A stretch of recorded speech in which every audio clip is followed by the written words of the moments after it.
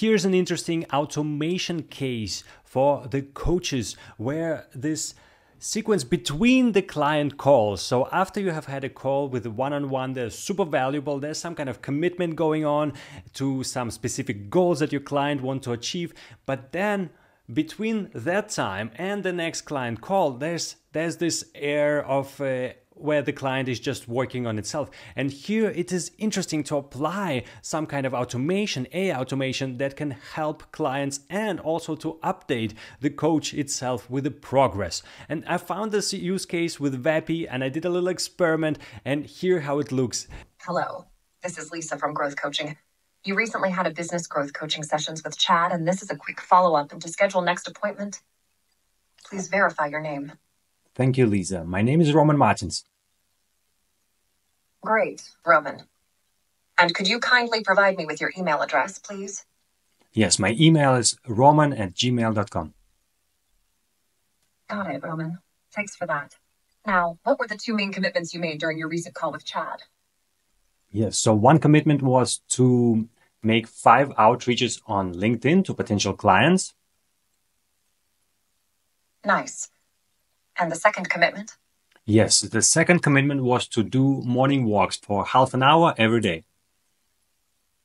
Fantastic. Now, Roman, what's the best date and time for your next coaching appointment with Chad next week?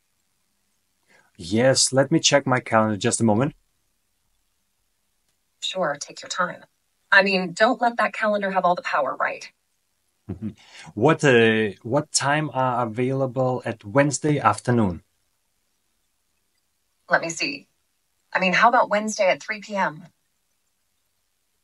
Oh, can we do it a little bit earlier? Maybe 1 p.m.? Okay, how about Wednesday at 1 p.m.? It is.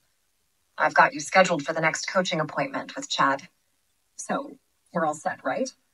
I'll follow up with you one day before the appointment to check how you're doing with those commitments we talked about. Oh, sounds great. Thank you. Looking forward. You're welcome, Roman. You got this hate. Talk to you soon. All right, bye. And those commitments can be recorded in a client management system. So coach is actually getting updated on before the next call and knows exactly how it's going with the client. And it's also possible to set up this automation so coach is getting exactly updates of how it is going with the client just before the call they have next time. So this kind of system with Vapi can be set up in automation, AI automation flow that can be run and make those uh, processes automatically update the client and update the coach. And it's it can be very valuable. It can save some hours through the weeks and months. I'm roman martins. I help businesses to apply those ai automations into their own workflows. So if you're curious feel free to reach out. I wish you learned something new and i'll see you in the next one